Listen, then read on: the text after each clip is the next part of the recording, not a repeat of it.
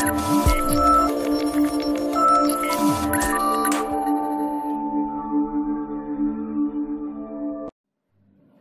friends, welcome back to our channel.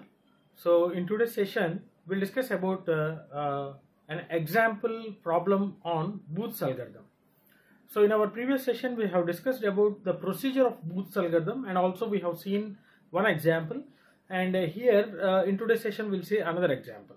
So just uh, uh, recalling the concept, the Booth's algorithm is to perform the multiplication on signed binary numbers right? So in our previous example we have seen i think uh, uh, minus 4 into 3 that means we have taken one negative number and one positive number and we have performed the multiplication. In today's session we'll discuss about the product of two negative numbers so that we need to get the result in a positive value right? So let's start the procedure. So the topic is booth's algorithm.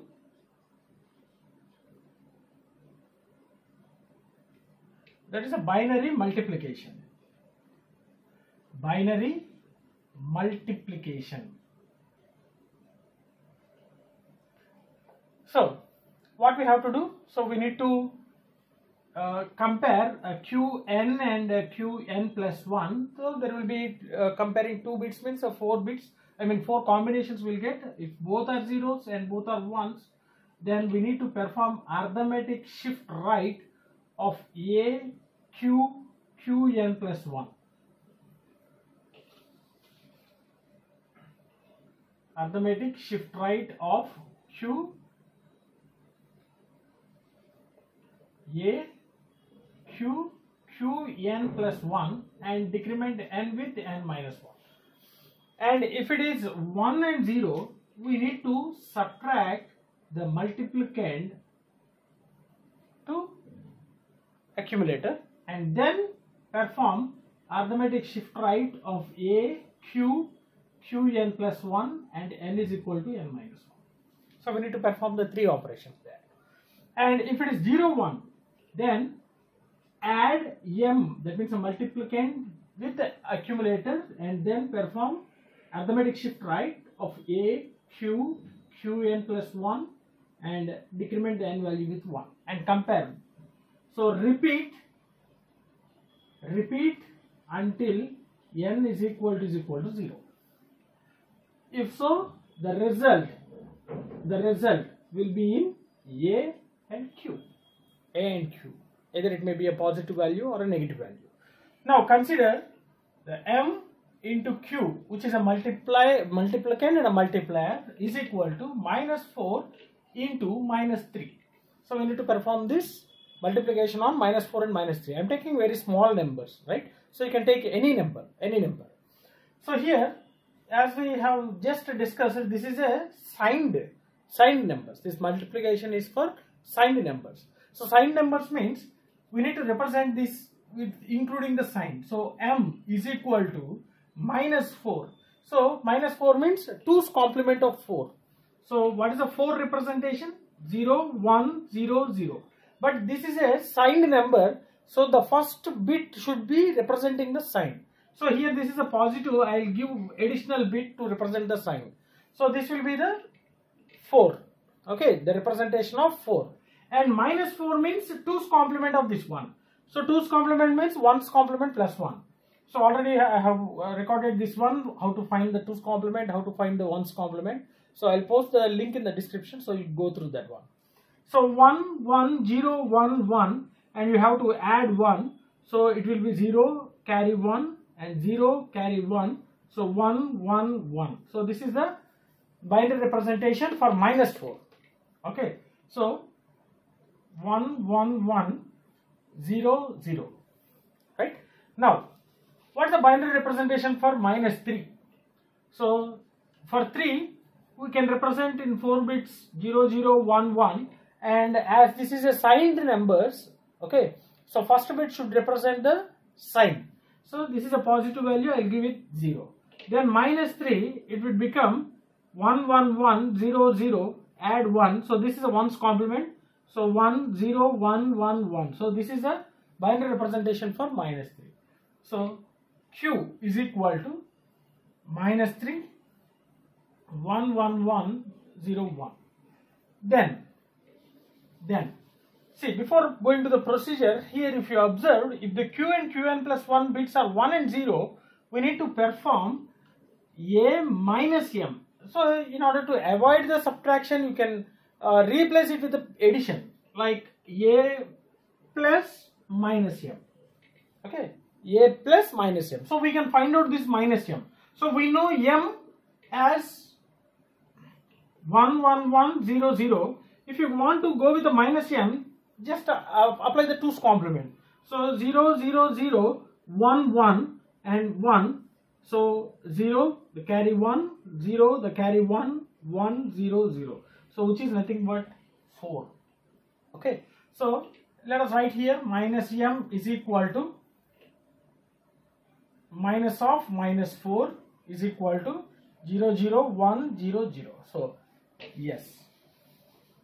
We have completed the representations. Now we have to solve the problem by applying this procedure.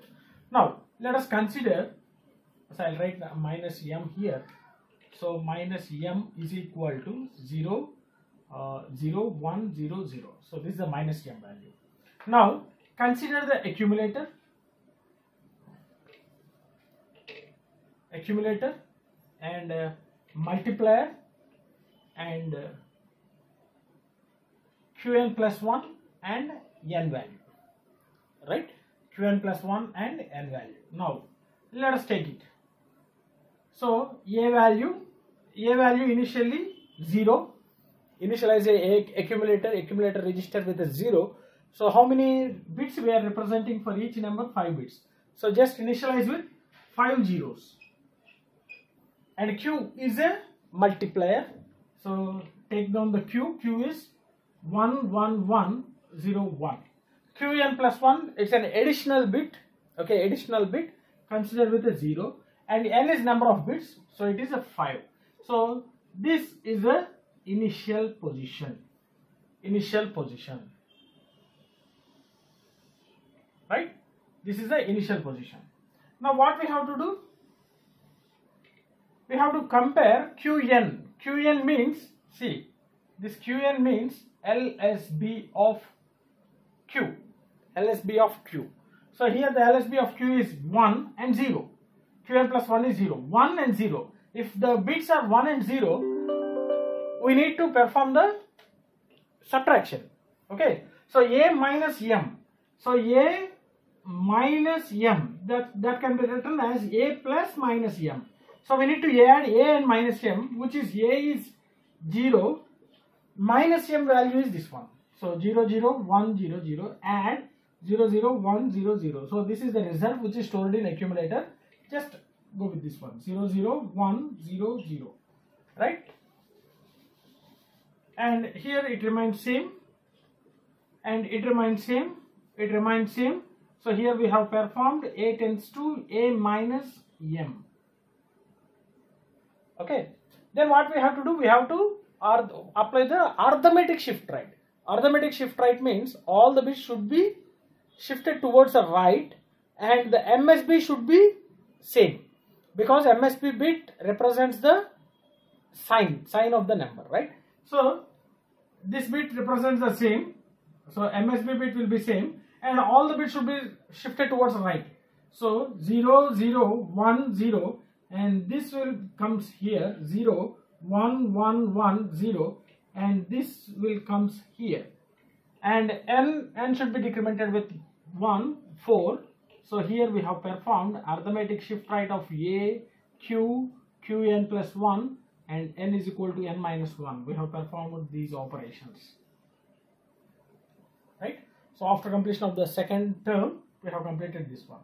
Now check with the result i mean check with the n value which is 4 which is not equal to 0 so we need to repeat the same process. Again compare qn and qn plus 1 so the qn and qn plus 1 are 0 and 1 so if it is 0 and 1 what we have to do? We have to add the multiplicand to the accumulator. So what we have to do? A is equal to a plus m. So what's the value of a? So value of a is 0 0 0 1 0 and what's the value of m? So 1 1 1 0 0 so what's the result? 1 1 1 1 0 4 ones and 0 so after performing the addition of multiplicand with the accumulator the result will be all zeros i mean all ones 4 ones and 0 and here 0 triple 1 0 1 and uh, here it becomes 4 not the 3 4 because just we have performed a tends to a plus m. After that we need to perform the arithmetic shift right. Arithmetic shift right again this bit becomes here and all the remaining bits will be shifted towards right side. So 1 1 1 1 and this 0 becomes here will be placed here 0 0 1 1 1 and this becomes here. So it will be 0 and here it will be 3 so that is arithmetic shift right of a q arithmetic shift right of a q qn plus 1 and n minus 1 so both the operations has been done. Now again you can perform. So here n value is 3 n value is 3 not equal to 0 again repeat the same process. So again what we have to do? Again compare the qn qn plus 1 1 and 0 so 1 and 0 means again you have to perform this one. A is equal to a minus m which can be written as a plus of minus m. So what is the value of a? All ones. And minus m value is 0 0 1 0 0 so the result will be 1 1 and 0 and a carry 1 and 0 and a carry 1 and 0 and a carry 1 so here you can discard this carry. You can simply discard this carry. Just note down the value. So three zeros and double one. So here the value of a after updating three three zeros and double one. Okay discard the carry. Now now again this is 0 0 1 1 1 and 0 and this will be 3 and we have performed a tends to a minus m. This is done. Now what we have to do again arithmetic shift right. So this will be same and all the bits will be moved towards right side. So 1 so this becomes here 1 0 0 1 1 and here it will be 1 and 2 we have performed arithmetic shift right of a q qn plus 1 and n minus 1 so we have performed these operations. Right? Now n is equal to 2 which is not equal to 0 so again we need to repeat the same process. Again compare qn and qn plus 1 1 and 1 both are ones. You need not change the accumulator. So simply you can perform the arithmetic shift right. So arithmetic shift right. So this this becomes here and all the remaining bits will be moved towards right side so 1 1 and uh, 0 0 1 and 1 and decrement the n value with uh, 1 so the output will be this one. This one. Okay again n is equal to 1 which is not equal to 0 so again we have to repeat the same process so again both compare the qn and qn plus 1 both are ones both are ones perform the arithmetic shift right so again the msb bit will be remain same all the remaining bits will be shifted towards right side. So 0 so this becomes here 0 1 1 0 0 and 1 and 0 so here we have performed arithmetic shift right of a q qn plus 1 and n minus 1 now you can observe n value is 0 here. Okay see. This this becomes here right? Okay arithmetic shift right. So here you can observe the n value is 0 so if n value is 0 the result will be aq the result will be in aq so the result of this one will be in aq which is nothing but a value all zeros 5 bits and q value 0 double 1 0 0 so what's the binary representation? Here you can observe the msb msb is 0 that implies the result is a positive number. Okay if it's a negative number the msb bit will be in a negative number. So we, we need to perform the 2's complement to find the positive value. So, but here, here you can observe the MSB bit is 0. That means it is a positive value. So, what is the binary decimal value of this one? So, 1, 2, 4, 8. So, the bits of 8 and 4 are 1 and rest of the bits will be 0. That means 8 plus 4, the result is 12 and the MSB is 0. So, that will be a positive. So, minus 4 and minus 3, the result is plus 12 plus 12 right so this is how we can perform any multiplication of any signed numbers by using this Booth's algorithm. Right? So hope you understood this procedure.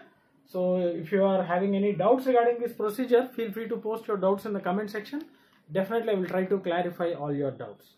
And if you really enjoyed my session like my session share my session with your friends. And don't forget to subscribe to our channel. Thanks for watching. Thank you very much.